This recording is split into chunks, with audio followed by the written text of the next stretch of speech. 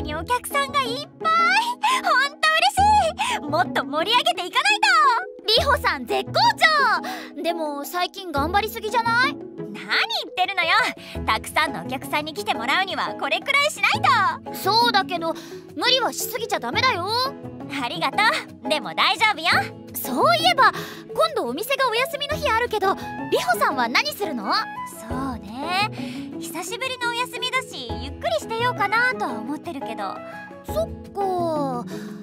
あかねさんのバンドを見に行ってみたいんだけどりほさん知ってる？知らないわ。その辺は謎に包まれてるのよね。あかねさんに聞いても教えてくれないんだよね。それでは次回第5話定休日。ご来店お待ちして